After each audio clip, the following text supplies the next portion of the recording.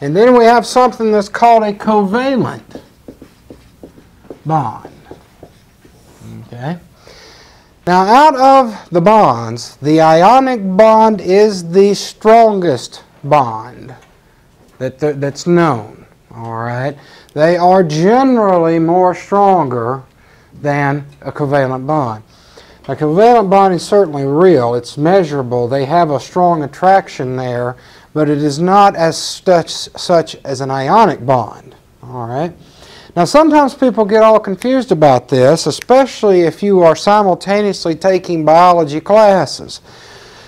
You know, they'll tell you in the biology building that, well, you know, these uh, ionic bonds like in sodium chloride, they dissolve really well and they got to be weak. No, that's not true.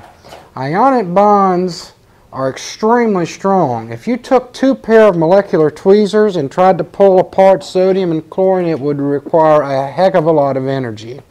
Somewhere on the orders of a couple of thousand kilojoules or something, or joules or something like that.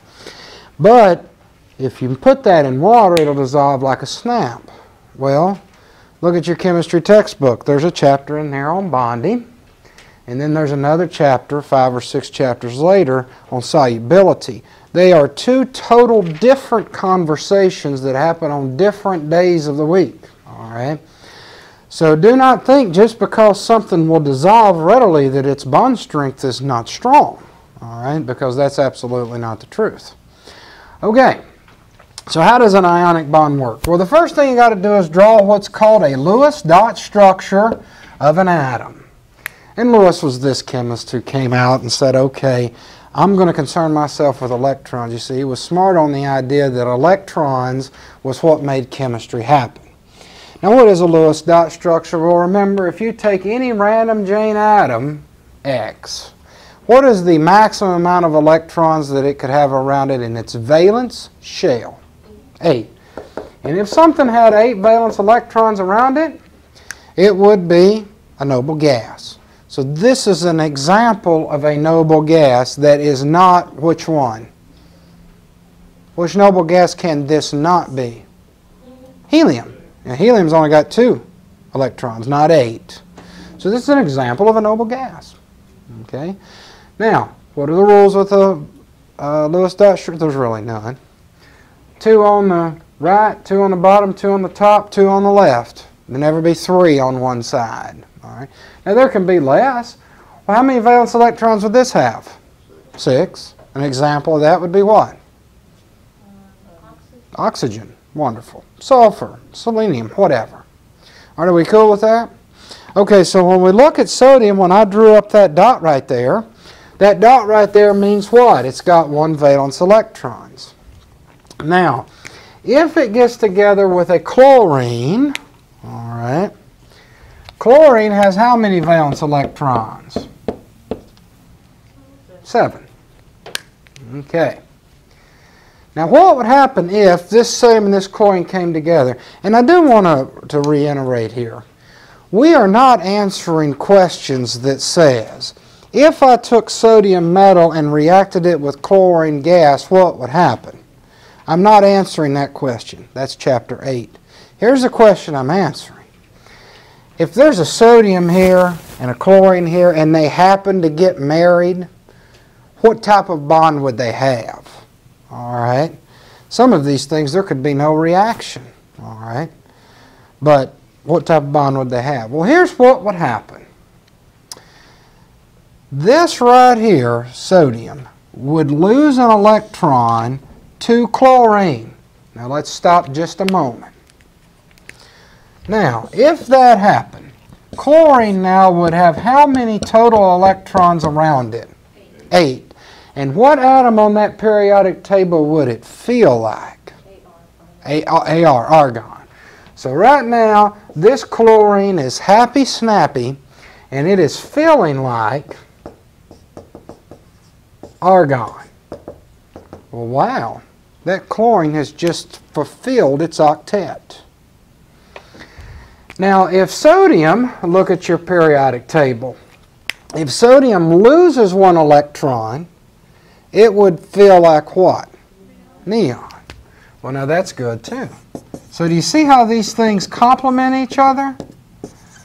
They both now have their octet.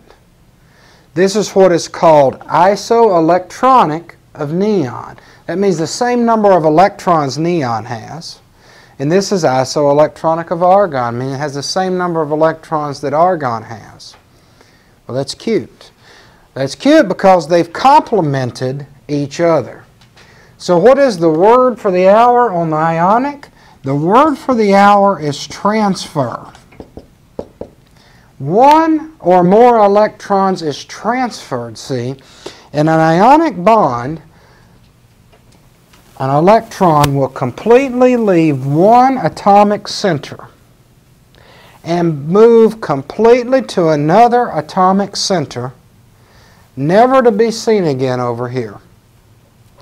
All right? So in other words, that chlorine is so electronegative. Well, let me ask you, which one's more elect... We've not even talked about electronegative, have we?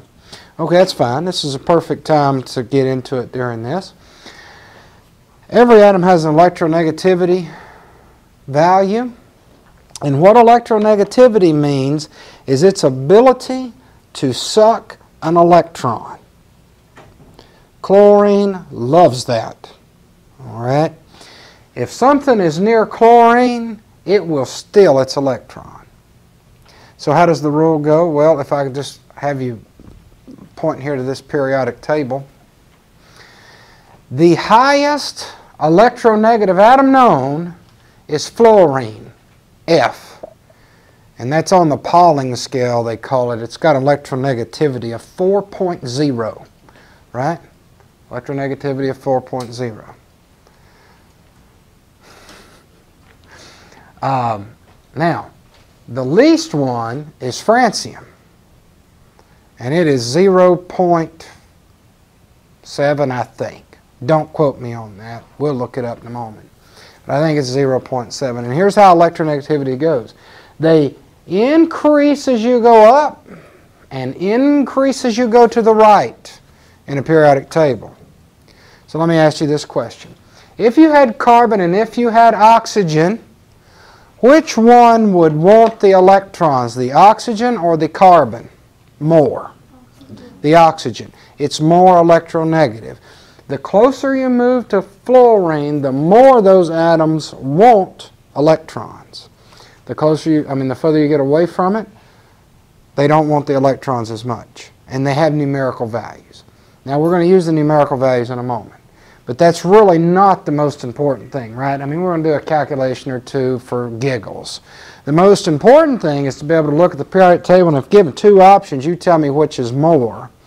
Because when you draw the pictures of these compounds, which is the road we're driving on, um, you want to know which atom holds the electrons to it.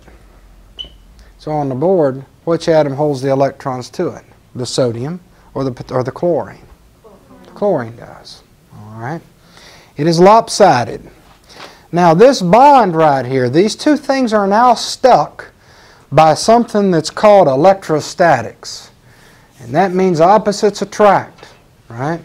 So if you have a plus charge and a minus charge, they will attract. All right, the electrodynamics of the situation. And I want to tell you that's a strong situ I mean that's a strong attraction is when that happens. Now, does this electron ever come over here near this sodium? Oh no, it doesn't. Not an ionic bond. Okay? So what's the word for ionic? Transfer. It leaves. Is there anybody confused on that issue? Okay, now let's talk about covalency. An example of a covalent bond would be iodine. How many valence electrons does iodine have? Seven. Wonderful. Who said seven? Great. How many valence electrons does this red iodine have? Seven. You with me? So if we're drawing a Lewis dot structure of iodine, right? We know iodine exists as I2 because it's one of our seven diatomics we just learned. This is how we're going to approach it. Now what will happen here